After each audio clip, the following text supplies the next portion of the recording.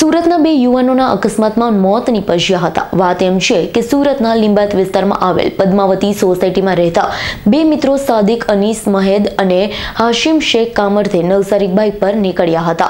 તે સમયે તેઓની બાઇકને અકસ્માત નડતા બંનેને ગંભીર ઇજાઓ થતા તાત્કાલિક નવસારી સિવિલ હોસ્પિટલમાં ખસેડાયા હતા. બંને યુવાનોની હાલત વધુ ગંભીર થતાં તેઓને સારવાર માટે સુરત નવી સિવિલ હોસ્પિટલ ખાતે ખસેડાયા હતા.